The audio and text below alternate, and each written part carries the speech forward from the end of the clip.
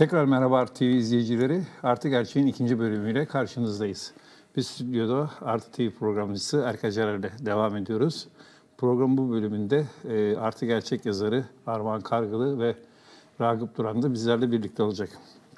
Evet Erki, yani yönetici kalitesini konuşuyorduk en son hmm. Eser Hoca'ya da vaktimiz kalmadığı için anlatamadık. Şimdi öyle bir şey ki bir şeyden bahsetmiştim. Şimdi eski solcu olan yandaş bir yazar. Sosyal medyada tweet atıyor. İstanbul'da o hal ilan ettirmek için her türlü tezgah yapan Ekrem İmamoğlu ve arkasındaki aklın yerel hükümet modeli. Bir yerel hükümet. Ve bu, bu cümle bozuk ama neyse o yazana ait yani. İkinci cümlesi şöyle. Eve kapatılmış İstanbul'da sokakları aportta bekleyen PKK'lılarla gezici kalıntısı sol örgütleri teslim edip FETÖ desteğiyle PDY, paralel devlet yapılanması kurmak. Şimdi nasıl bir kafa çalışıyor? Akıl yani nasıl bir akıl Abi şimdi yani? bu hadi diyelim ki e, bize gazete sayfalarında e, yazar diye e, pazarlanan bir trolün aklı. Hı hı.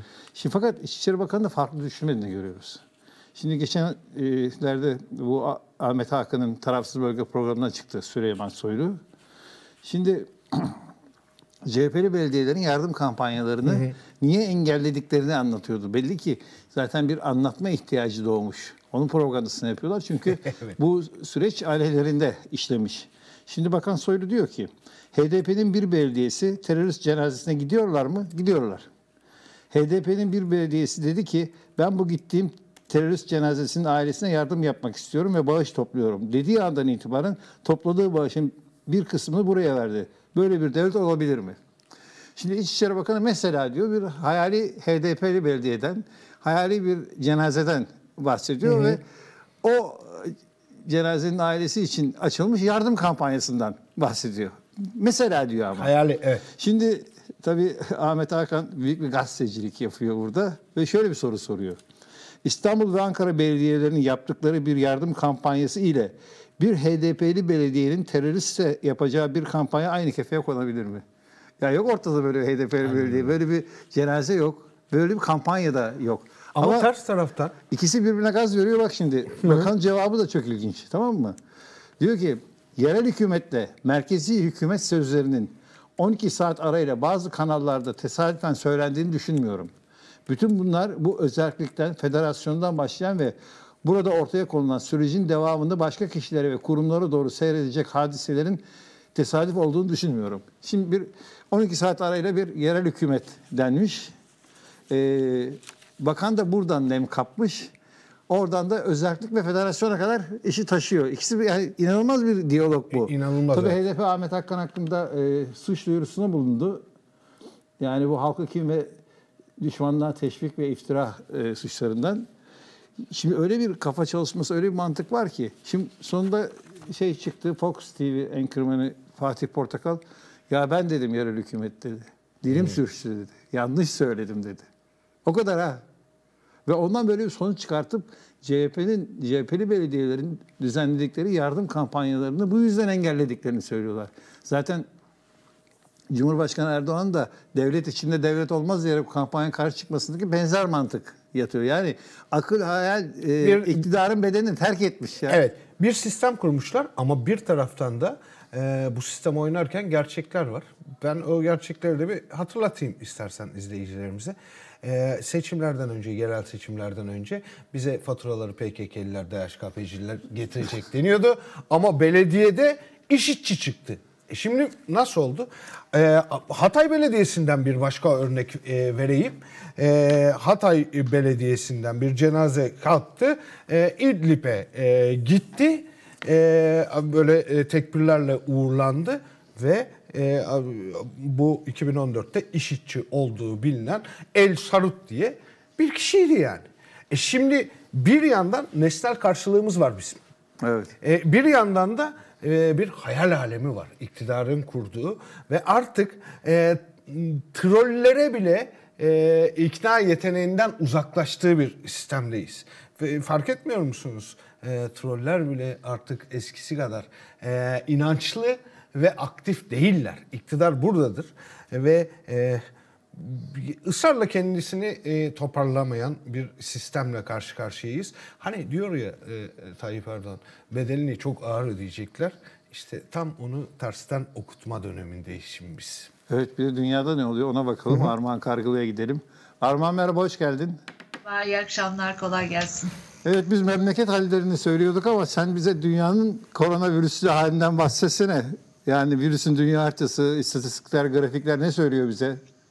Keşke iyimser şeyler söyleyebilseydim ama e, dünyada şu anda grafiklere, istatistiklere baktığımız zaman ne yazık ki çok kara bir tabloyla karşı karşıyayız. 1 milyon kişiyi aştı, 1 milyon 42 bin kişi e, şu anda virüsle mücadele et, yani virüs tespit edildi. Hani bunlar test yapılıp da işte virüsü kaptığı tespit edilenler.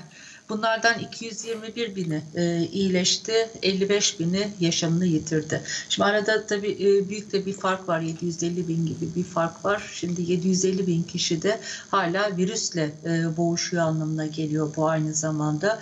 Yani hafif ya da ağır bir şekilde hala e, virüsle boğuşuyor ve e, bunların içerisinden bir bölümü de e, tabii yaşamını yitirecek e, anlamda taşıyor. Bir de tabii bunların e, bulaştırdığı bir kesimi düşünürsek yine e, korkunç bir e, şeyden yayılmadan, yayılma hızından söz ediyoruz ki e, hani dünyada şu anda adeta virüse teslim olunmuş bir hava var. E, dünyanın üçte biri e, neredeyse e, işte evine kapandı deniliyor ve en son e, yapılan açıklamalarda özellikle Dünya Sağlık Örgütü WHO'nun yaptığı açıklamada e, virüsün e, nefes yoluyla da bulaştığına yani konuşma ve nefes yoluyla da bulaştığına ilişkin bazı evet. e, veriler söylendi ve bu nedenle de maske takılması e, konusu yeniden düşünülmeli. Yani maske e, takılmasına eskiden Dünya Sağlık Örgütü de en azından sağlık e, çalışanlarının e, haklarını elinden almış gibi e, olmak diye düşünülüyordu ve çok da desteklenmiyordu ama şimdi gelinen noktada maske takılması da sokakta artık destekleniyor. Yani korkunç bir e, salgınla karşı karşıyayız. E, nasıl geldik buraya? İşte örneğin e, Çin'de şimdi e, yeni ortaya çıkan verilere göre aslında Kasım ayında başlamış. Hani hep evet. Aralık sonunda falan e, deniyordu. Halbuki son gelen bilgiler, veriler ışığında anlaşılıyor ki Kasım ayında başlamış. Belki daha bile geriye gidiyor. Yani şu anda medyanın ele geçirdiği hükümet verileri bu ve Dünya Sağlık Örgütü bundan ancak işte 31 Aralık tarihinde haberdar oluyor. Yani arada geçen zaman zaman e, böylesi bir virüs açısından çok büyük kaybedilemeyecek kadar önemli bir zaman. E, niye derseniz işte Çin'de örneğin özgür bir medya olsaydı, evet. Çin'de farklı bir yönetim olsaydı ve bunlar tartışılıyor, bunlar konuşuluyor olsaydı belki de virüs dünyaya yayılmadan önüne geçilebilecek e, böyle bir şans olacaktı. Ya da dünyadaki liderler işte e, bize bir şey olmaz havasına e, girmeselerdi. E, örneğin işte Çin gribi e, diyerek küçümser, e, küçümser bir tavır içerisine girmeselerdi e, ve bununla mücadele yolunu seçselerdi. Yani örneğin İtalya'da hani Çin'de durduğunuz zaman İtalya'da ortaya çıktığı zaman bütün gücümüzle işte bütün dünya gücünü İtalya'ya yığsaydı ve bununla ortak bir mücadele yolu aransaydı belki buraya kadar da gelmeyecekti. Ama şimdi geldiğimiz noktada neredeyiz derseniz e, işte dünya bir virüse teslim olmuş vaziyette. Yani o koca koca devletler hani e, Türkiye'den örnekler veriyoruz. E, işte e, Türkiye'de e, son yıllarda işte biz bir dünya devletiyiz diye e, geçiniyordu. İHA'larımız, SİHA'larımız e, deniliyor her fırsatta. Keşke o İHA'lar, SİHA'larla e, beraber ya da onların yerine yani bana göre onların yerine tabii e, insansız örneğin e, virüs tespit eden, işte virüsle mücadele eden üniteler e, kursaydınız. İşte bugün e, şeyde İHA'larınız, SİHA'larınız hangarlarda gezerken ya da S-400'leriniz hangarlarda beklerken sokaklarınızda virüsler dolaşmazdı o zaman. Tam anlamıyla bir teslim olunmuş e, hali var dünyanın. E, dediğim gibi rakamlar, e, istatistikler korkunç ama istatistiklerin bir de adı var. Yani hani şöyle okumayı deneyelim. Korkunç tabii yani 1 milyon kişiden 1 milyon 42 bin kişiden söz ediyoruz. 55 bin e, kişinin ölümünden söz ediyoruz.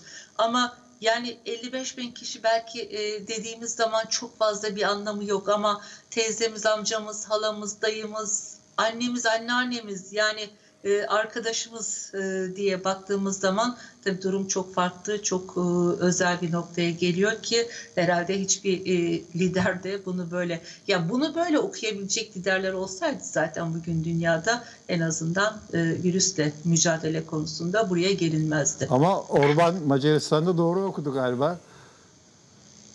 Ya bir tek Virüsten- Orban mı okudu?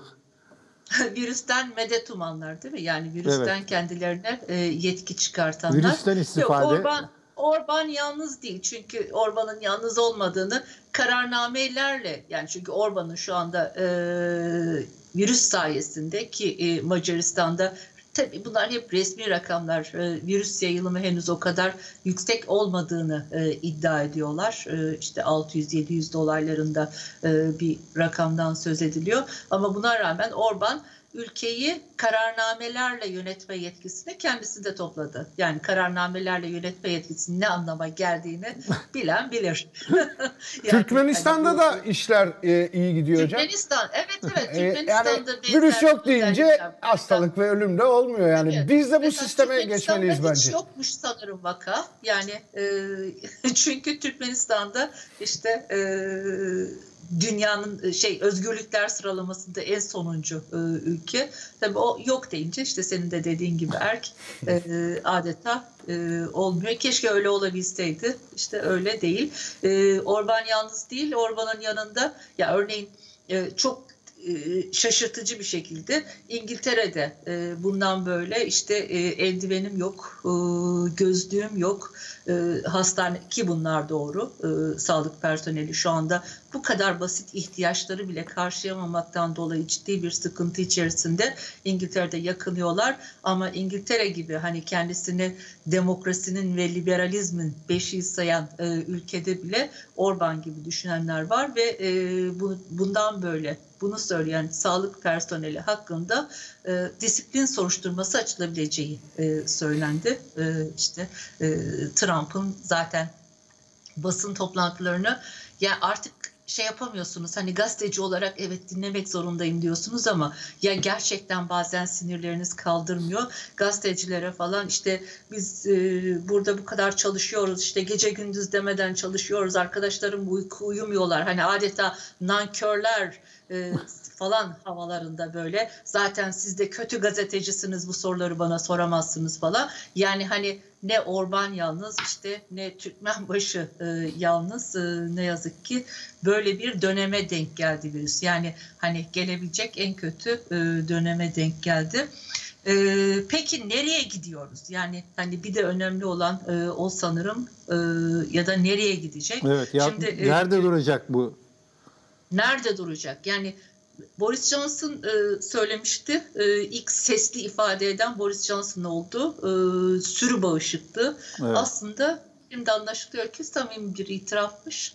Çünkü bütün ülkelerin geldiği noktada aslında sürü bağışıklığı noktasına geldiklerini görüyoruz. Çünkü ne hastalığı önleme konusunda ne yayılmayı önleme konusunda ciddi tek bir adım atılmıyor. Hastane sistemleri zaten işte e, son yıllarda özellikle bu kemer sıkma politikaları sayesinde hani kapitalizm zaten içini boşaltmış ama kemer sıkma politikaları sayesinde de sağlık servisleri tamamen yok edilmiş. Örneğin Yine İngiltere'den örnek vereceğim. Ee, diğer örnekleri siz veriyor ve konuşuyorsunuz. Hani farklı bir örnek olsun diye.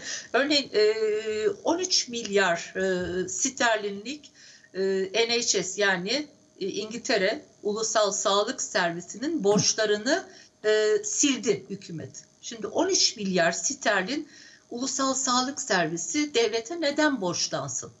Çünkü Ulusal Sağlık Servisi de e, işte elini kolunu bağlamak için harcamalarını kısmış. Harcamalar yetmeyince tabii ki borçlanmış ama öylesine bir borçlandırma sistemi kurmuş ki en yüksek faiz oranıyla borçlandırmış ve dolayısıyla daha da e, yani ulusal sağlık servisi artık iyice sıkışmış. Personel alamaz, işte e, servislerini geliştiremez, alet edevat alamaz hale e, gelmiş burada ulusal sağlık servisi. Yine bir e, şey söyleyeyim Avrupa Birliği içerisinde kanserden ölüm oranlarının en yüksek olduğu ülke örneğin İngiltere. Evet. Çünkü son yıllarda uyguladığı, muhafazakar hükümetlerin uyguladığı ve işte Brexit meselesi dışında ülkeyi kilitleyen e, o yapı sağlık servisini tamamen e, yok saydı ve bu noktaya geldi. İşte bu noktada e, dediğim gibi aslında e, Boris Johnson olayı erken görmüş ve biz zaten bir şey yapamayız. O zaman ölen ölsün. İşte kalan sağlarla biz devam ederiz. Hiç olmazsa işte bir anda kapatırız. Peki hangi noktaya geldi buradan? Aslında baktığınız zaman baktığımız zaman evet kendisi de koronavirüsten şu anda e, işte şeyde yani izolasyonda o da hani tam da böylesine kritik bir dönemde çünkü e, böyle çok e, presentable bir şekilde Dışişleri Bakanı artık ülkeyi yönetiyor e, basının önünde falan o çıkıyor. Dolayısıyla gazetecilerle falan da kavga etmiyor böyle çok ılımlı bir e, dille konuşuyor. E, dolayısıyla şeyi falan da kimse artık sormuyor ona sürü bağışıklığı meselesini. Ama sürü bağışıklığı noktasından gele gele aslında kontrollü sürü bağışıklığına gelmişiz. Evet. Çünkü e, NHS sistemi de dünyadaki diğer sağlık sistemleri de bunu e, bir bir anda karşılayabilecek noktada değillerdi. O zaman ne yapalım? İşte bunu bir şey yapalım, sıkalım, herkesi içeriye kapatalım, bir e, hızı yavaşlatalım. Sonra bir e, açarız, işte yeniden insanları virüsle karşı karşıya getiririz. Yani hani şey gibi e, dünyada yaşayan her insan bu virüsü bir gün tadacaktır havasında gidiyor e, ne yazık ki dünya. Yani e, hani bu durumda e, bazen şeyi konuşuyor insan, yapılabilecek en hani sivil itaatsizlik eylemi ne derseniz herhalde evde oturmak. Yani hani madem ki bize mutlaka bu virüsü dayatıyorlar, yapabiliyorsan evde oturmak, virüsten uzak durmak sanırım yapılabilecek en iyi sivil itaatsizlik eylemi gibi görünüyor. Peki Armağan söyleyeceğim bir şey. Teşekkür ederim. Katıldığın için çok teşekkür, teşekkür ederiz. Kolay çok gelsin. sağ ol. Kolay. Ya aslında e, çok gerçekten çok korkunç rakamlar abi. Bak 11 e, Mart'ta e, yani Türkiye'de e, 13 Mart'ta Türkiye'de virüs görüldükten 2 gün sonra sayı 128.043'müş dünya genelinde. Hı hı. Yani e, üzerinden ne kadar geçti ki 13 Mart'ın bugün yaklaşık 10 gün. E, bu yani bugün 1 milyon 76 bin kişideyiz. Bu da yani, tespit edilenler bence. Evet yani çok korkunç bir şey. Tabii biraz belki e, küçük bir anekdot olarak e, dünya tarihinden de örnek e, vermek gerekiyor. Aslında e, bu e, çok bilinen e, bir şeydi. Son dünyanın son 400 yılında 50 senede bir pandemi oluyor. Yani bize Merkel'i sunulan raporu getirip önümüze şehir efsanesi diye dayatmasınlar. Şimdi 1918 e, sansürle ilgili bir şey söylemek istiyorum. 18-20 arasında e, Dünya Savaşı yıllarında 50 milyon üzerinde yaşam kaybına neden oldu pandemi. Ve İspanya'da başlamamasına rağmen İspanyol gribi aldı, ismini aldı. Neden? Nedeni şu. Tek nedeni sansür. İspanya Birinci Dünya Savaşı'na girmemişti. Ee, ama diğer ülkeler girmişti ve askeri engellemelerde bulundular. Avrupa ülkelerinde salgından söz edilmedi. İlk kez İspanyol basını yazdığı için adı da garibimin İspanyol gribi diye kaldı. Şimdi e, şunu demek istiyorum. 50 milyon insan ölmüş. Siz saklamayla, gizlemeyle dünyanın bütün yöneticilerinidir bu söz bu ölüm sayısını, hastalık sayısını, salgın sayısını örtebileceğiniz mi düşünüyorsunuz? İşte bu korona olayı öyle oldu. Çin'deki Aynen öyle. Yani eğer Çin'de daha demokratik Çin, bir İtalya'da olsaydı. da yapıldı. İspanya'da da aynısı yapıldı. İşte Boris Johnson'ın, Armağan ablanın anlattıkları ortada. Amerika'da yapıldı. E, Türkiye'de yapılıyor. Demek ki bu böyle e, işler böyle yürümüyor. Evet, yine biz dünyaya doğru. Yakın zaman. Ragıp Duran merhaba. Celal merhaba, Erk merhaba. Ragıp abi merhaba. Evet Ragıp sen şimdi hafta içinde 5 gün global medyada e, virüsü anlatıyorsun aslında. Tam virüs günlerine e, denk geldi. Bütün bu 5 e, günlük haber ve yorumları süzersek e, bir bilanço vermek gerekirse en önemli nokta sence nedir bu global medyada? Koronavirüs diğer bütün sözcükler gibi ancak kökenine, köken anlamına bakınca bize bir fikir veriyor. Koronavirüs aslında jenerik adı bu virüsün yani genel adı. Şu anda bütün dünyanın boğuştuğu COVID-19 diye adlandırılıyor. Korona latince bir sözcük. Taçlı, taç e, kralların kafasına koyduğu şey. E, taçlı virüs anlamına geliyor. Şimdi benim yaptığım tarama ve seçkilerde benim çıkardığım bence en önemli sonuç koronavirüs konusunda hükümetlerin büyük bir kısmı virüse karşı mücadele ediyor. Ama Trump, Bolsonaro, Erdoğan, Lukashenko, Beyaz Rusya, Orban ya demin konuşuldu, Türkmenbaşı onlar daha çok tacını ve tahtını korumaya yönelik hamleler yapıyor. Koronavirüste böyle bir iş bölümü yapılmış. Peki bir şey soracağım. Ya bu e, global medyayı tarayınca bu salgın hangi alanlarda bize yeni dersler verdi? Çok ders verdi aslında. Ben bunları dört kalemde topladım. Bir, bir kere dinle, dinlerle bilim arasındaki fark ortaya çıktı. Yani bu İslamiyet'e has bir şey değil. Hristiyan, Musevi, tek tek bir sürü örneği var bunun. Dinle bilim arasındaki çelişki ortaya çıktı. İkincisi bilimle siyaset arasındaki fark ortaya çıktı. Onun da somut örnekleri var. Bir sürü bilim insanının önerdiğini siyasetçiler engelliyor. Engellediği için de çöküyor. Üçüncü önemli nokta bence yoksullarla zenginler arasındaki fark çok, çok fena bir şekilde ortaya çıktı. Nihayet son olarak nispeten yeni bir şey yani ve global çapta gelişiyor. O da şu benim benim izlediğim ülkelerde Amerika, İngiltere, Fransa bu üç ülkenin gazetelerini takip ediyorum. Halkların yönetimlere, hükümetlere karşı güveni olağanüstü bir şekilde azaldı. Ee, yani bu da hükümetlerin politikaları, başarısız politikaları nedeniyle. Peki şimdi tabii bu koronavirüs salgın nedeniyle bir de geleceğe bak bakanlar var. Yani bizi nasıl bir dünya bekleyecek bu koronavirüs salgından sonra? Ki dünya eskisi gibi olmayacak lafı da çok söyleniyor. Bu geleceğe dönük tartışmalarda belirginleşen ana akımlar nelerdir? Valla yani tabii daha çok e, her gün düz haber dediğimiz ya bilgi verici haberlerin yanı sıra çeşitli yorumlar, e, bilim insanları, sosyologlar, siyasal bilimciler, fütüristler, geleceği öngören insanlar bu salgından sonra neler olacağı konusunda yazılar yazıyorlar. Onları da aktarmaya çalışıyorum. Bir ihtimal bütün bunları iki grupta, iki kümede toplamak mümkün. Birinci kümede daha çok bugün buraya nasıl geldik, bunun kökenleri nedir, onun teorisini yapanlar var. Yani işin siyasi, ekonomik, ideolojik, toplumsal, kültürel yanlarını deşen yazarlar, araştırmacılar var. Ee, burada tabii esas olarak hep kapitalizmin, e, kar hırsının, paranın ne kadar önemli olduğunu ve ne kadar yıkıcı olduğu yolunda görüşler var. İkinci grup e, makalelerde, yorumlarda daha çok uzun vade olmasa bile kısa ve orta vadede salgından sonra ne olacak e, öngörüler var. Onlarda daha çok siyasi olarak, ekonomik olarak, e, toplumsal olarak neler değişecek? Bizim günlük hayatımızı ne, nasıl neyi değiştirecek? Onlara bakıyorlar. Tabii şimdi hemen söyleyeyim uzun vadede tahmin yapmak biraz zor şu bakımdan. Var aslında bir takım tahminler. Biraz kahve muhabbeti gibi e, şeyler. Amerika battı. Çin dünya lideri oldu. Rusya kazandı. Avrupa dağılıyor falan gibi ciddi ciddi yazanlar var. Bunlar çok spekülatif şeyler. Doğru değil. Çünkü bu tür tahlilleri yapmak için henüz elimizde yeteri kadar veri yok. Yani şu anda çeşitli hükümetlerin izlediği politikaları biliyoruz ama o politikaların somut sonuçları henüz tam olarak ortaya çıkmamış. Bir de tabii bu hükümetler salgın bittikten sonra ne yapacaklarını bilmiyoruz. Tabii bu hükümetler salgından sonra ayakta kalacaksa.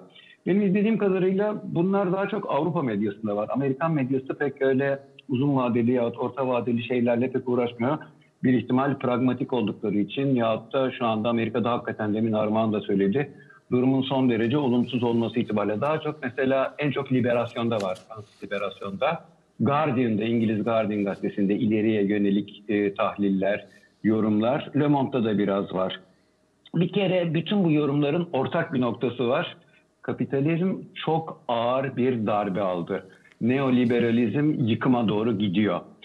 Ama yakın veya orta vadede kapitalizmin öleceği, tamamen ortadan kalkacağına dair herhangi bir öngörü yok. Tam aksine kapitalizmin e, kendini yenileme yeteneği ve gücü itibarıyla salgından sonra belki işte biraz dayak yemiş, özelleştirme konusunda yaralanmış bir kapitalizmin tekrar canlanması söz konusu bir ihtimal. Bu kapitalizmin kendini yenileme becerisi tabii sistemi sonuç olarak insanlar yönetiyor. Bir sistemin kendi aklı yok. Bir insanın yaratıcılığına bağlı. İnsan yaratıcılığını kapitalizmin hizmetine verirse kapitalizm yaratıcı olmuş oluyor. Bu, bu konuda hemen iki tane örnek vereyim. Irak'ta bir mühendis solunum cihazlarını bir takım adaptörlerle bir solunum cihazından dört tane solunum cihazı çıkartıyor. Çoğaltıyor yani az olduğu için. Ee, bir başka örnek Türkiye'de bir din esnafı koronavirüs muskası yaratıyor. Bu ikisi de yaratıcılık bunların. Tabi arasında hafif bir fark var. Artık o farkı siz anlarsınız.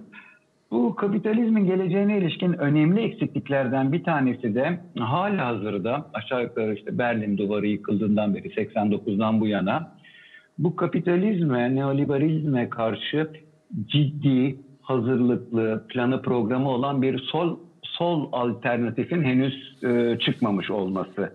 E, bu bakımdan da e, önümüzdeki yakını ve orta vadeyi çok net olarak görmek oldukça zor. Peki bu e, hafta içinde taradığın, seçtiğin makalelerden bazı başlıkları verebilir misin? Memnuniyetle toparladım onları zaten. Ee, başlığı ve gazetesini veriyorum sadece. 15-20 tane seçtim, hızlıca geçiyorum. Koronavirüs küresel kapitalizmi geriletti, internet kapitalizmini yükseltti. Liberasyon. Koronavirüs Avrupa demokrasisine bulaştı. Bunu Avrupa Gazetesi yazmıyor, Washington Post yazıyor. Koronavirüs insanlara ne yaptıysa iş dünyasına da aynısını yapacak. New York Times.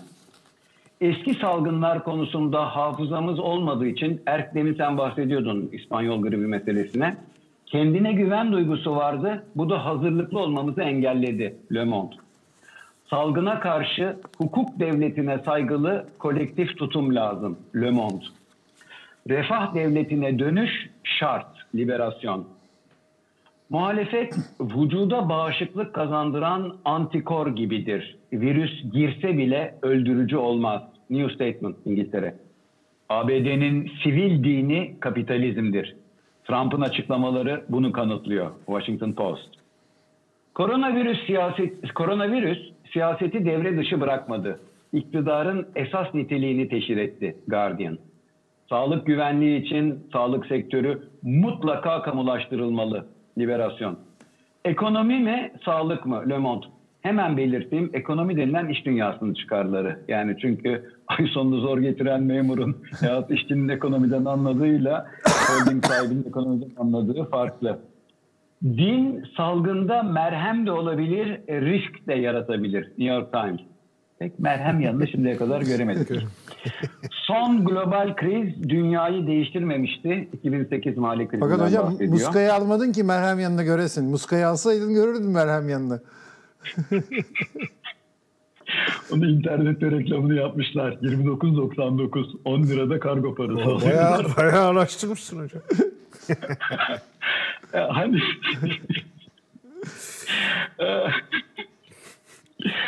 Erk yok benim o tür alışkanlıklarım onu bilmen lazım senin. 3-4 tane daha kaldı da, onları da vereyim. Aa, son global kriz dünyayı değiştirmemişti. Şimdiki kriz değiştirebilir Guardian. Bu kriz görünmeyenleri görünür kıldı. Liberasyon. Hayat kurtarın Wall Street'i değil. Liberasyon'da çok güzel bir yazı vardı. Başlığı da bizi yöneten dangalaklar. Kapitalizmin devam etmesini istediği her şey durdu. Yine liberasyondan bir başlık. Bu kriz ekonomik ve sosyal paradigmalarımızı değiştirecek. Salgında hayat kurtarmak, uzun vadede ekonomiyi kurtarmak demektir. Washington Post. Kapitalizmi mi kurtaracağız, ekonomiyi mi değiştireceğiz? Liberasyon. Son iki başlık. Kentlerden kaçıp kırlara gitmek eski bir sınıf refleksidir, liberasyon. Açlık başlarsa hiçbir yaptırım insanları evde tutamaz, liberasyon. Evet. Son bir şey sormak istiyorum. Programın da sonuna geldik yavaş yavaş. Ee, dünkü yazının başlığı "Enternalis- internasyonalizme en çok ihtiyaç duyduğumuz şu günlerde diye atmışsın. Halbuki biz genel olarak milli birlik ve beraberliğe en çok ihtiyaç duyduğumuz şu günlerden geçmiştik. Nereden bu internasyonalizme olan ihtiyacı saptadın? Vallahi bu somut bir şey. Yani şöyle şu kadar somut. Kübalı doktorlar İtalya'ya yardıma gidiyor. Çinli doktorlar oraya gidiyor. Almanya Fransa'nın sınır bölgesindeki hastaları alıyor. Bütün dünyanın gözü Almanya'daki meşhur Robert Koch Enstitüsü'nün olası bir ilaç araştırmalarını izliyor. Bu biz bize yeteriz. Tamamen yanlış. Tamamen hayat tarafından reddedilecek bir şey. Hiç kimse kimseye yetmiyor şu anda. Biz bize yetmeyiz. Sen kendi sarayında kendine yetebilirsin. O ayrı mesele. Ama şu anda koronavirüse karşı mücadelede çünkü koronanın kendisi senden benden daha internasyonel. Sınıf farkı, milliyet farkı, yaş, cinsiyet farkı tara- e, tanımıyor. O biz bize yeteriz diyenleri de götürür koronavirüs. Ee, dünyanın çeşitli ülkelerinde de götürdü zaten. Hatta birisi yazmıştı. İngiltere'de prens gitti. Başka bir sarayda biri gitti ya bizde de saray var diye bir çağrı yapıyordu e, sosyal medyada. Dolayısıyla enternasyonalizm evet milliyetçiliğin karşıtı olarak enternasyonalizm. Ne bileyim işte en son yaşadığımız olumlu örnek e, deprem sırasında Yunanistan'ın e, kurtarıcı göndermesi. Sözüm ona işte bilmem Türkiye'nin düşmanı Yunanistan falan denirdi. Bugün enternasyonalizm şarttır. Kendi içine kapandığın sürece global bir tehlikeye karşı tek başına mücadele etme imkanın yok. Senin maskeye ihtiyacın var, senin solunum aletine ihtiyacın var, senin doktora hemşireye ihtiyacın var. Onun için bütün dünyanın Birleşmiş Milletler olsun, WHO olsun, aklı başında herkes e, milliyetçilikten vazgeçip e, dünyanın başına musallat olan bu belayı ancak birlikte din, milliyet, bilmem e, futbol takımı neyi tutuyorsa ırk farkı e, gözetmeksizin e, birlikte enternasyonalist bir yaklaşımla buna mücadele, buna karşı mücadele ancak başarılı olabilir. Peki Ragıp çok teşekkür ederiz bize katıldığın için. Hocam iyi akşamlar. Görüşmek üzere. İyi, iyi akşamlar. yayınlar, ol. Erk, iyi akşamlar Celal, iyi akşamlar. İyi akşamlar. Evet Erk programın sonuna geliyoruz. Evet. Şöyle bir şey sorayım. Program başında beri kafamda bir soru vardı ama eee dünyayı bilmem. Türkiye'nin açıkladığı Sağlık Bakanı'nın her akşam kendi şahsi Twitter'ından ya da toplantı yaparak duyurduğu eee, ölüm sayısı, eee, vaka sayısı sana inandırıcı geliyor mu? Hayır. Ölüm sayısı da, vaka sayısı da bana inandırıcı gelmiyor. Ee, bunun e, buradan e, baktığımızda böyle altı boş, mesnetsiz e, bir iddia olarak değerlendirilmesini de istemem. Ee, veri sistemleriyle ilgili, veri girişlerle ilgili bir problemin olduğunu biliyoruz. Ee, bunu da belgelendirdik. Ben nacizane yarın e, bunu da izleyiciye anlatmak isterim. Ee, bunun ötesinde şunu da anlatmak isterim. Neden bu testler mesela e, negatif çıkıyor önce sonra Evet. pozitif çıkıyor. Onun ötesinde Türkiye Devleti'nin tüm dünya sağlık kuruluşları gibi bu işe ne zamandan beri hazırlandığını aslında ve sağlık e, kuruluşlarına nasıl bilgiler gönderip onlardan neler istediğini de e, anlatmak isterim yarın. Ve böyle giderse ne yazık ki bu sistemin çökeceğinden de yine biraz belgeler üzerinden söz etmek isterim. Peki son bir şey. Nasıl bir dünya bekleyecek bizi korona sonrasında? Ha, yarın senin programın saat 20'de Türkiye saatiyle. bunu da söyleyelim. Evet. Ya bu, bunu e, e, samimi olarak bir e, gazeteci bakış açısıyla kestiremiyorum. Yani e, hani hakikaten bir bu konuda bir şey söylemek biraz fantazi e, gibi görünüyor e, bugünlerde. Çünkü Ragıp Hoca'nın söylediği gibi henüz elimizde bir veri yok. Ama şu tartışmaların yapıldığını biliyoruz biz. E, kapitalizm ve neoliberalizm çökecek mi? E, bunun yerine istediğimiz modelde insan yaşamını, eşitliği Önceliği, önde tutan bir sistem alabilecek mi? Burada da şu tartışmalar arasında gidip geliyoruz. Bu yine tamamen insanlara bağlı. Tamamen toplumlara bağlı. Toplumların taleplerine bağlı ve ne kadar şimdiye kadar yaralanmış e, e, olduklarına ve bunun ne kadar farkında olduklarına bağlı. Elbette şu lafı çok doğru buluyorum. E, ama nasıl olacağını bilmiyorum. E, hiçbir şey gerçekten eskisi gibi olmayacak. Yani e, bu çok iddialı bir şey değil. Hatta modadan, sanata, ekonomiden, e, sosyal yaşantımıza kadar bana kalırsa e, hiçbir şey eskisi gibi olmayacak. Biz biliyoruz ki hani şimdi insanlar evlerine hapsoldular. İlk salgın bittiği anda e, insanlar evlerinden çıktıklarında nasıl bir e, toplumsal ruh halinde olacaklarını biliyoruz. Biz savaşlarda e, bunu etek boylarının kısalmasından biliyoruz mesela. Çok enteresan bir şey bu. Savaşlarda etek boyları Evet. kısalırmış yani. Bunun bir anlamı olsa gerek. E, bu da sadece ekonomik olarak değil toplumsal, sosyolojik, modadan, sanata, e, kültüre kadar pek çok değişikliği getireceğini sadece öngörebiliyorum. Hatta insanların ruh hallerini bile etkileyeceği herhalde. E, Elbette yani köpekleriyle konuşmaya başlayan, onlara ders anlatmaya başlayan e, insanlar var. E, evinde hayvan besleyenler şunu görüyor. Sadece insanlarla ilgili değil, hayvanlar sıkıldı yani. Yani şöyle düşün. Yani bu adamların bu bu artık ne işi var yani bunlar bir gitsinler böyle değildi bunlar yani.